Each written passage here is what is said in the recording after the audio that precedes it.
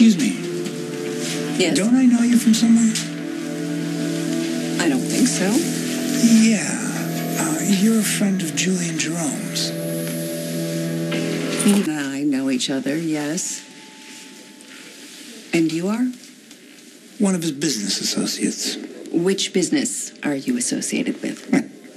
The one that makes money. They all make money. I assume you're talking about the one that he's no longer a part of. In case you didn't get the memo, Julian's out. Whatever you say. Hi, Mom. Oh, look at you. You're back to normal. How you feeling? Physically, okay. I just still can't believe Rafe is gone. I know, honey. I know, which is why I think it's important that you you're back in your own bed in your home and you get yourself settled. You go for a swim in the lake. You have some sun on the deck, and it'll help you process Mom. all this. What? You know Sam is picking me up. I'm going back to her place, not yours. Molly, please, please, come home.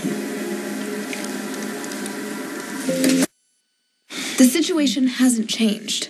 As long as you're with Julian, I can't come home. But you can come home. He's responsible for my father's death. I know you don't believe that, but I do. And I'm not gonna stop.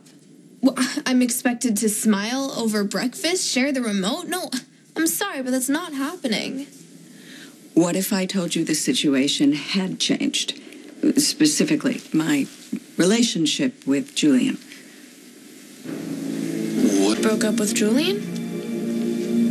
We've agreed to cool it for your sake.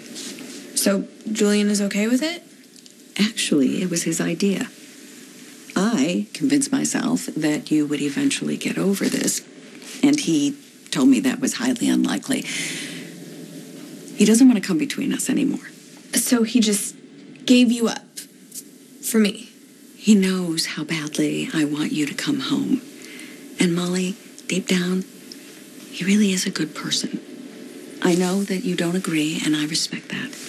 But the truth is, is that you are my daughter, and you will always come first. Always. I'm not sure what to say. How about? Okay, Mom. I'll come home. Or go. Uh, what? Why are you hesitating?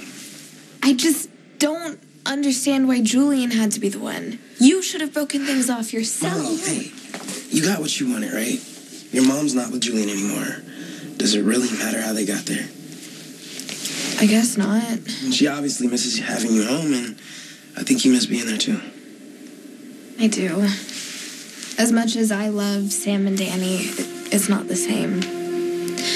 I miss the house and my bed, and I miss you. I miss you. So is that a yes? Are you coming home?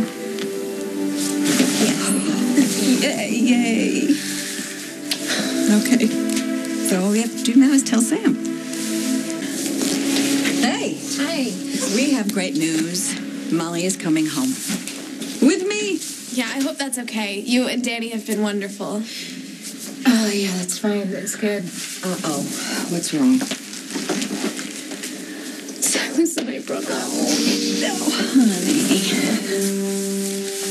honey.